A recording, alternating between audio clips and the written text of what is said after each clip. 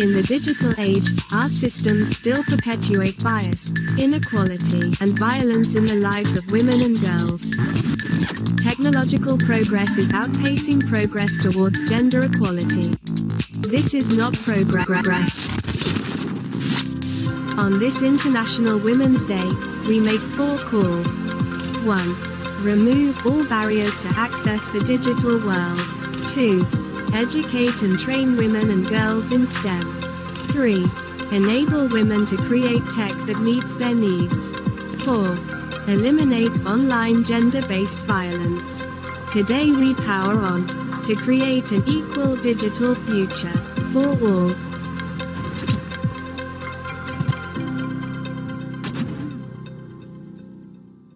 In celebration of this important day, we invited two outstanding women for an extended interview, as they have many personal stories that serve as encouragement for many of us. Women can be very strong and brave while being caring and gentle.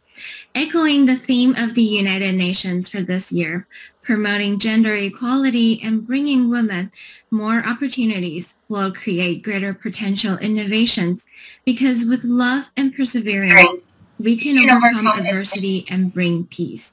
Our second speaker is a great representation of a woman with love and perseverance. The interview is with Dr. Uppaal. She has joined us many times to jointly observe the different UN days, and today she has more stories to share with us. Let's welcome Dr. Uppaal.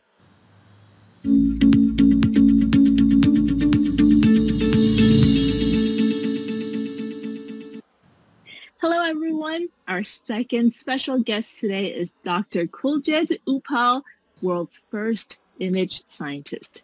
Dr. Uppaal is bestowed with the esteemed Inspirational Polymath Award being an image scientist, aviator, educationist, entrepreneur, author, and creative director amongst many other hats that she wears.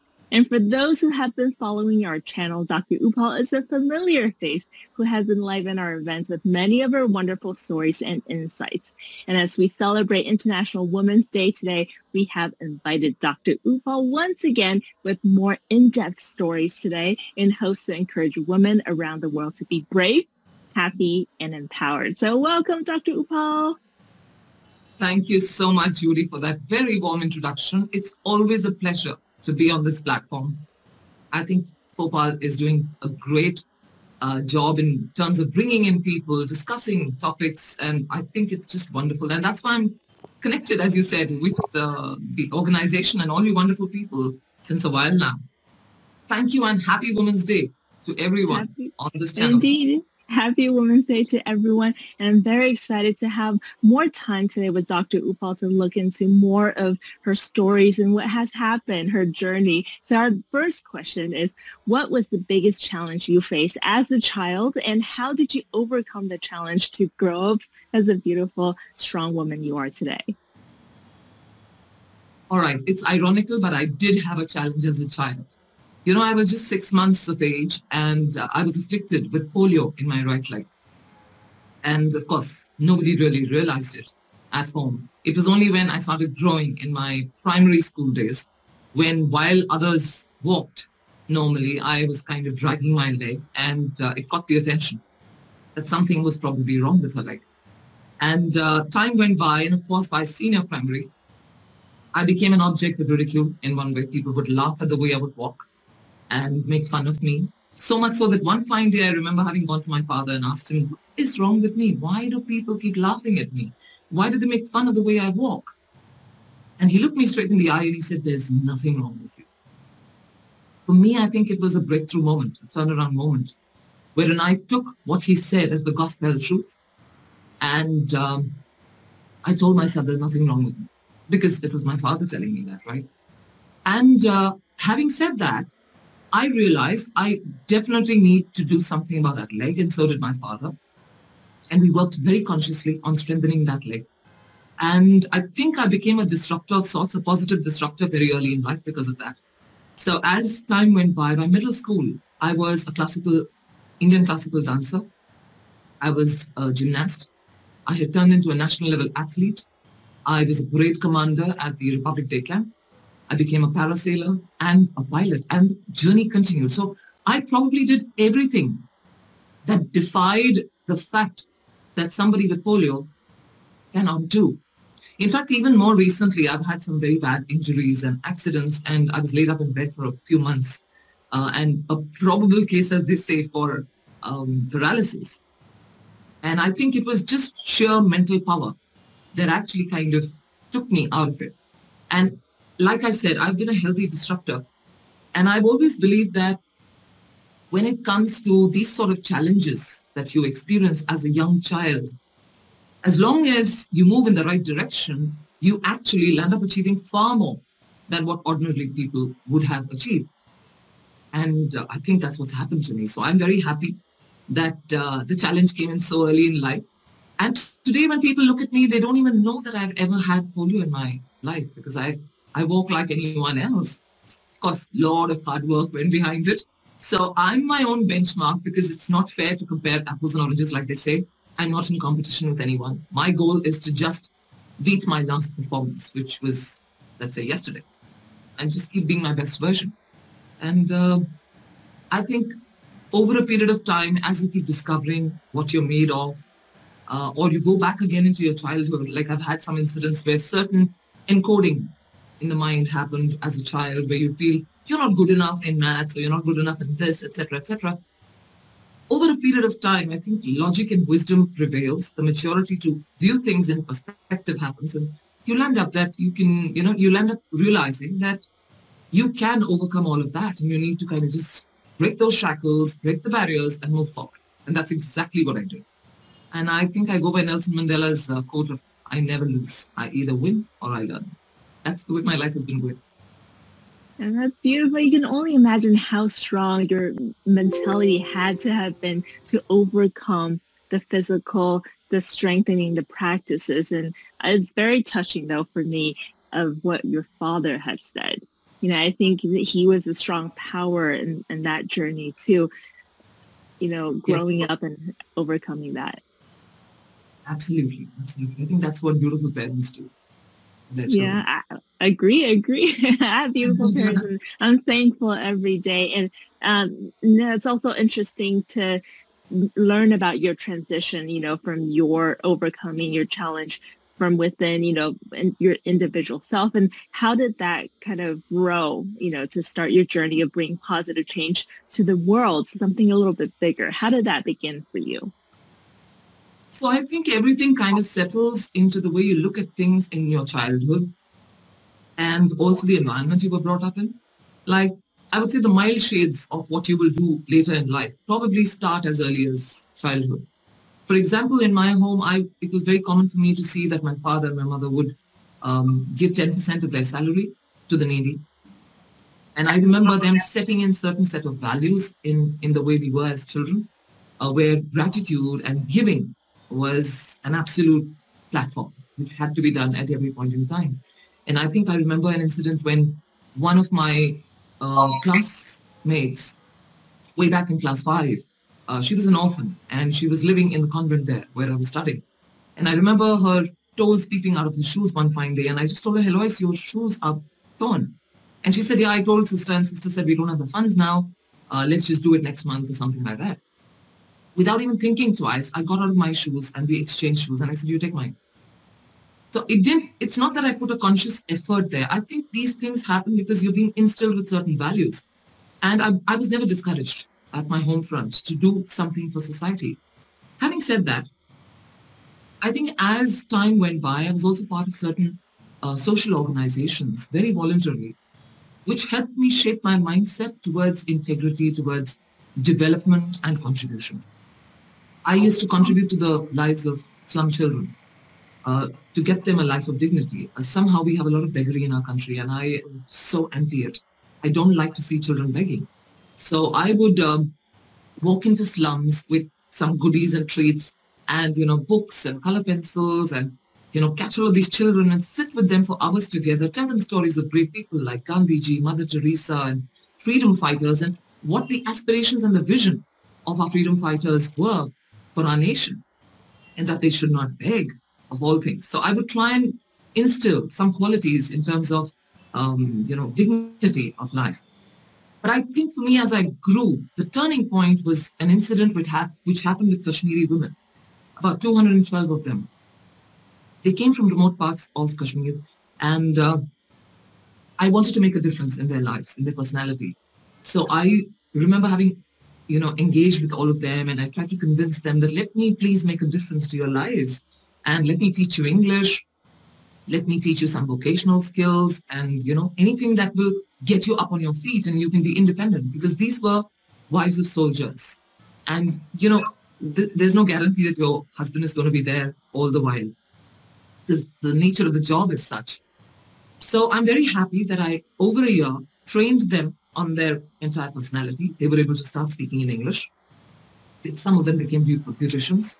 Some became Montessori uh, teachers. Some learned vocational skills like carpet making, etc., etc. And after that one year engagement, I somehow, from their input and their feedback, that they were now ready to take on the world, I got the confidence that I could do this for this 212 section, then why can't I try it for a larger group across the world? And that's, I think, uh, what happened. And alongside, I remember in 2013, if I'm not mistaken, there was a FICCI report that said that India is slated to be one of the youngest nations in the world by 2030. And I wanted to contribute to society, to the younger crop of my country and the world. I mean, here was a statistic I saw where I could do something since I was knowledgeable enough to do something. So I had pursued my research, as probably a lot of people are aware, and I became the first image scientist and all of that. But the whole modus operandi was, how can I use this knowledge that I acquire to make a difference to the youth, empower them, and not just the youth, also the women who probably are, are taking, let's say, are taking a hiatus from work or are not confident enough to, you know, go and explore or dare to dream and so on and so forth. And that's where I actually pushed my mission. I'm on a PSR, a personal social responsibility to the world right now, wherein I want to make a difference to the persona and image of millions of youth and women, especially the ones who are deprived. So I think somewhere down, if you're asking me this question about when it started, like I shared, it started young, but I'm happy that there's been this entire, you know, metamorphosis in the journey. And today, as a researcher, as a scientist, as a humanitarian, I am singly focusing on being able to make that positive difference to people across the world and help them, help the youth and women to, you know, kind of dare to dream, do whatever they feel like to, and not feel curtailed in any manner. Well, that's beautiful. So sometimes it's one incident, but oftentimes it's a buildup of many things, and our environment is very important. So that actually encourages me to continue to do things that in the beginning might not seem like a big change, but it does influence those around us. I get influenced. I'm, you know, influenced by your story. So we're going to continue with these efforts. And uh, my next question for you is actually one of the things that you said. Um, we've seen online as well that you said we are all in a constant state of evolution today, and it is important to be in the same rhythm as the world to obviate self-vegetation. And how do you help yourself to be become within the same rhythm rhythm as the world? How do you do that? I like the fact that my quotes are catching attention. uh, yes, I do believe the world is very dynamic today. There is constant evolution. There is a need to be relevant, especially in your prof- professional domain. And I think it doesn't apply only to me, it applies to everybody. I think it's important to be aware of where you stand versus where you aspire to be and learn to bridge the gap. What are the things you need to be able to bridge the gap is something every person needs to assess for herself or himself. And you need to build your skills accordingly. Obviously, we're talking of relevant skills for your area. I mean, generically, it's good, but it doesn't really bridge the gap. For example, me as an educationist, For me, I have to be updated. I'm a researcher, as I said, and I'm also a pioneer in my subject. That puts in a humongous responsibility um, on me, especially because there are people today following what I'm doing. They're reading my papers. They're reading the models that I'm creating. And so there is a sense of responsibility that I have to keep on researching. I have to keep studying. I have to keep learning, read more, update yourself continually, and create more and more. So as an educationist, I think the first thing I do for my professional work is to ensure that I am constantly providing to the world brand new information and um, the fact that they can consume it and get back to me with more doubts and you know inspire me to do more work and so on and so forth. So that journey is always on. I've always believed you need to stay on top of your game. Um, you know an incident a very funny story comes to my mind. It's not funny actually but it's a it's a true story. I remember knowing this uh, art director in advertising years ago who was a brilliant painter. When that time we weren't really using photoshop and corel draw and illustrator to make uh, you know, images. I'm talking of way back in the 80s. It was a very common thing to kind of, you know, draw or paint and then take, you know, snapshots of that. He somehow never grew.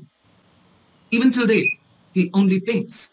Guess what happened? He lost his job because he didn't update himself.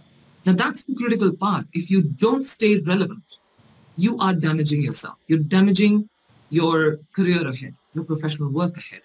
And that's why I keep saying the need to be relevant is imperative. So you need to constantly invest in yourself, especially with regard to knowledge. And you must know what is your technical differentiator so that you are the one, the go-to person for your field of area or your field of expertise.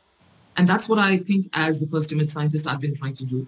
And of course, having said that, I think I have the humility to look around and see people in my space, in my field, in my area of work, and see what is it that they're putting out there. Maybe sometimes they have some interesting information they've seen somewhere else, which I have not seen, and they share it. I'd be humble enough, without any ego, to go there and learn and absorb that. Because I think we're looking at knowledge in the larger perspective and not about the knowledge that Dr. Kuiljeit has created versus someone else. I think that should never be the reason that you move ahead and, uh, you know, get yourself going.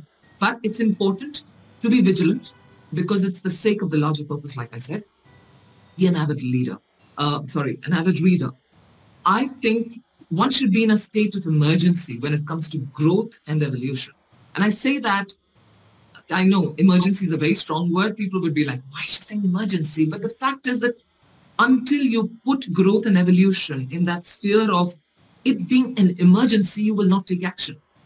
I've seen a lot of people saying, yeah, I'll grow. Maybe I'll do this, you know, I'll do this learning maybe three months down the line and I'll do this then and then. And so we keep procrastinating. And I think until you make it an emergency, you will never, ever be able to go forward. That for me is my way of functioning. Also, I think over a period of time, um, so that I don't obviate or I don't become irrelevant, I have learned the art of multitasking.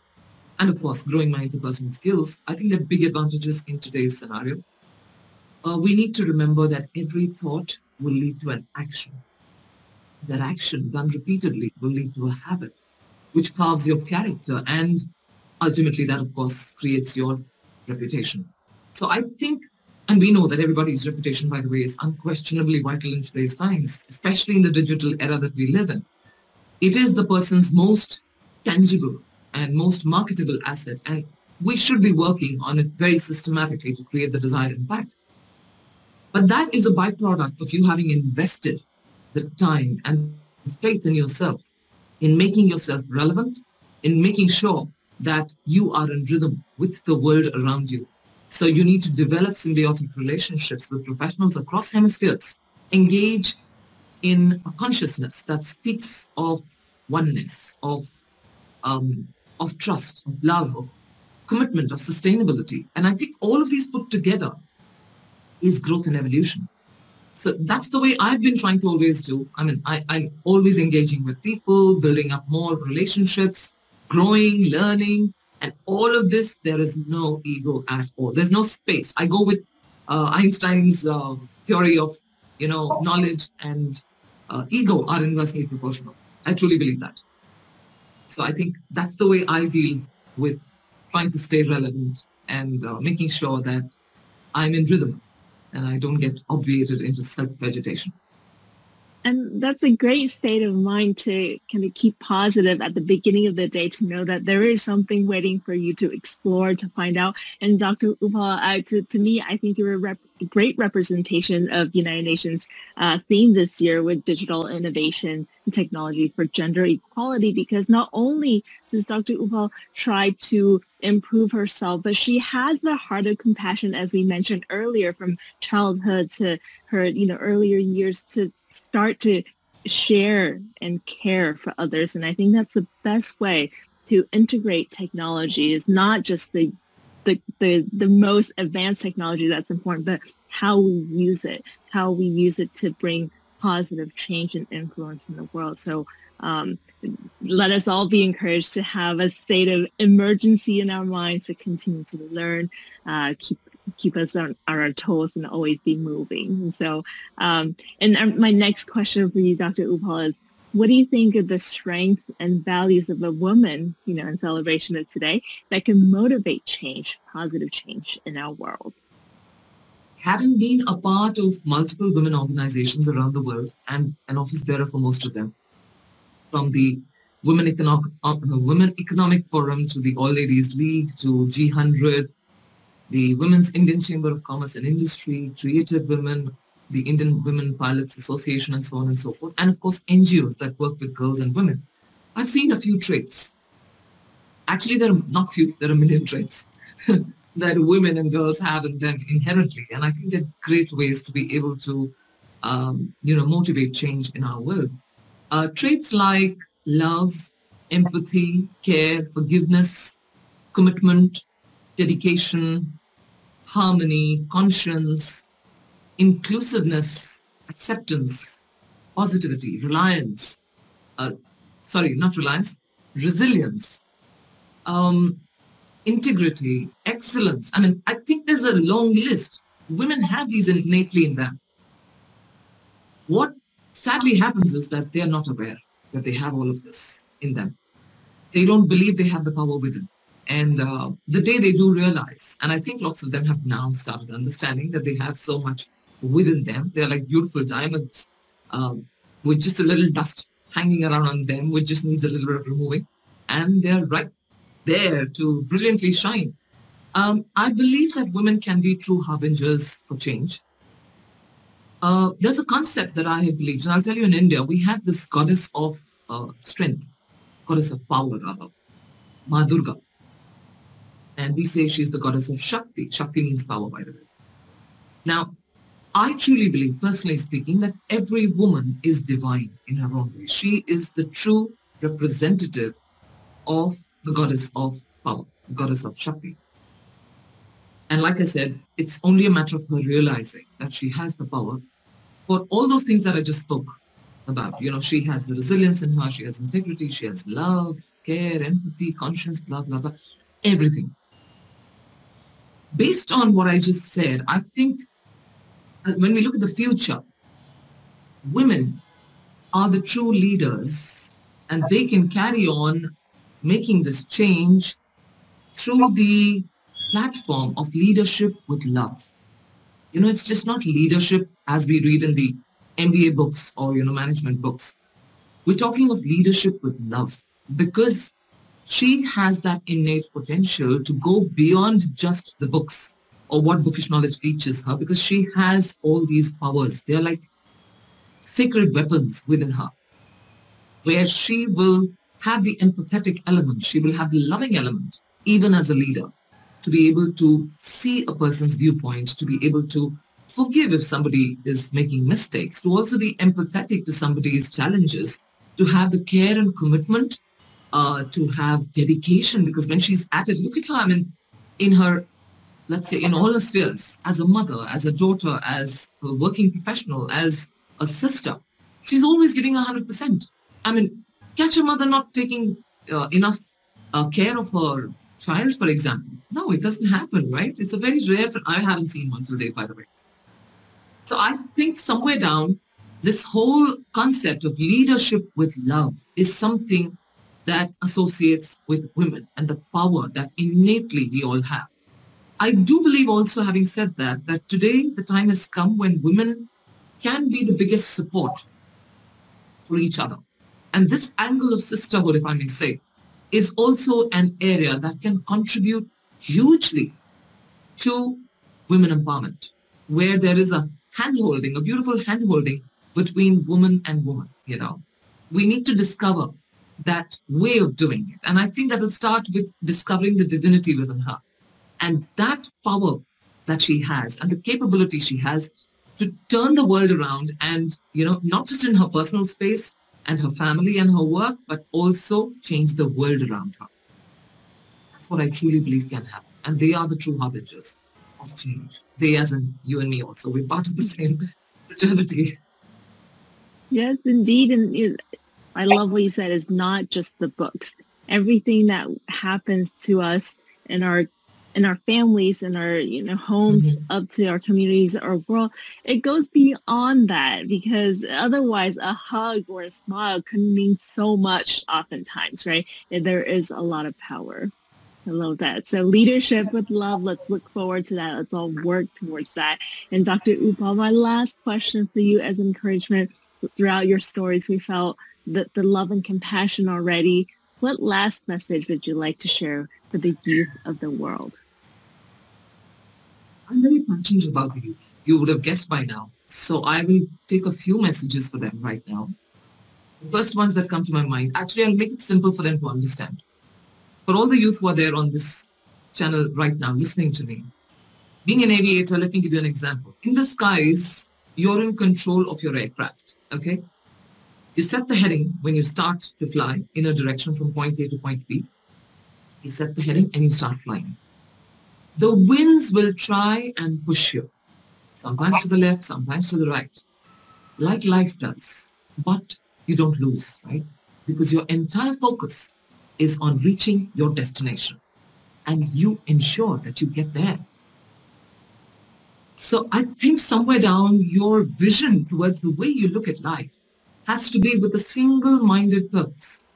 Take some time to understand what your purpose is and build your focus on it, but after you have decided what you want to do, just go there in a very focused manner from point A to point B. There is no way, nothing can stop you. If you've realized that you have it in you and people, and, and like I said, you have to be mentally prepared. You will be pushed.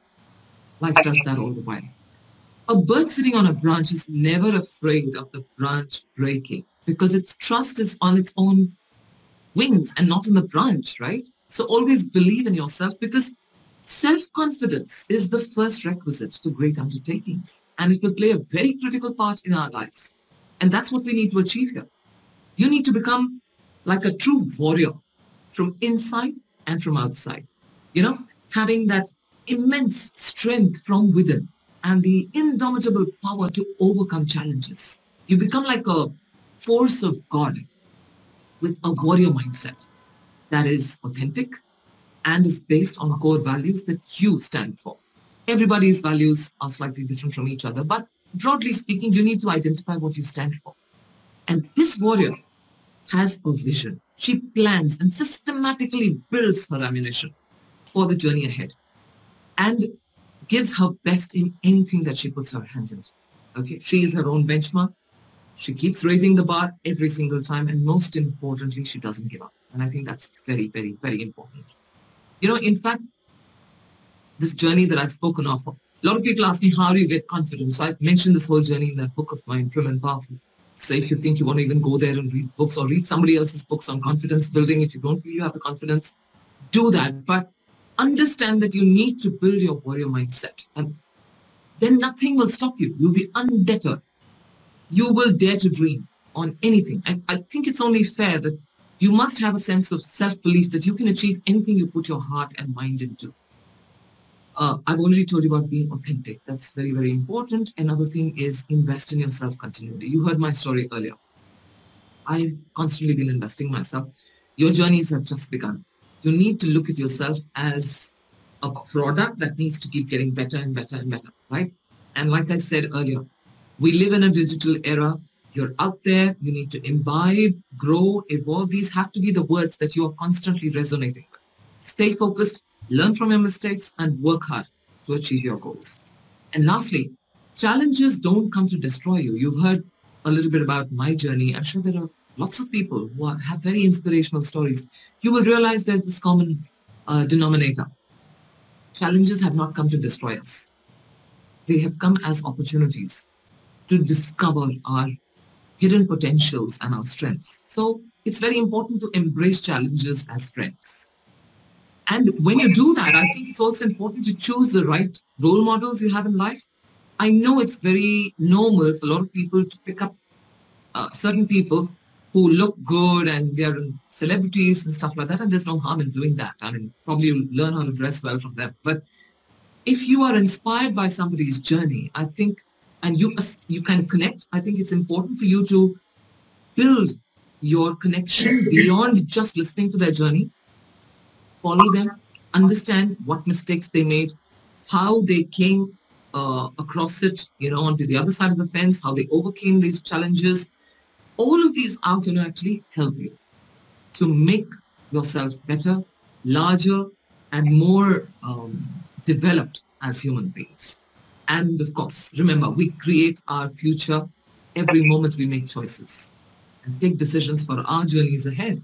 So let's not wait for Christmas. Go ahead and take your first step now. Do it now. My love and best wishes to all the young future of the world.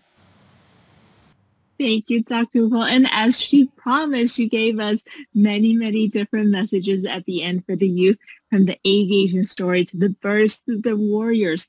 We are uh, interested to see what the youth picked up. So feel free to type into the chat box to share with Dr. Uppaal too which one you like the best. I like the one where I like to believe in my own ways that I can be strong, there are things that I can do, I can accomplish. Once again, thank you so much, Dr. Uppaal, for joining us today, sharing us your very personal stories and words of encouragement. I have goosebumps right now, actually, from mm. thinking of, you know, the stories that you ended with, the, you know, the message to the youth, but I think it, it can expand to all world citizens. It's not too late for us to pick up our game and start start working towards what it is that we envision, the goal that we have set as we start to fly. So we hope our viewers today also enjoy the conversation as much as I did with Dr. Paul and happy International Women's Day to everyone. Thank, Thank you, you, Dr. Paul. Thank you so much. It was a pleasure talking to you as always, Julie. Thank you so much. Thank you.